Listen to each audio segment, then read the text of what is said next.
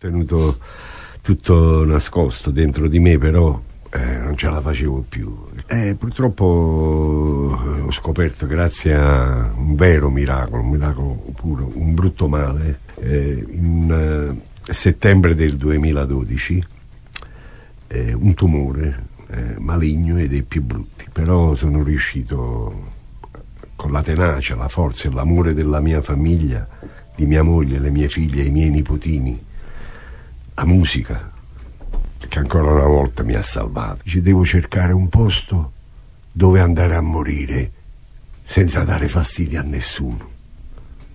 E cosa ne sarà dei miei cari? Come farò senza di loro? E loro come faranno senza di me? A batteria, a batteria mia. Allora dissi no, non sono pronto, bastardo, ti stanerò, ti accicherò, in modo che non troverai più la strada del tuo rifugio dentro di me.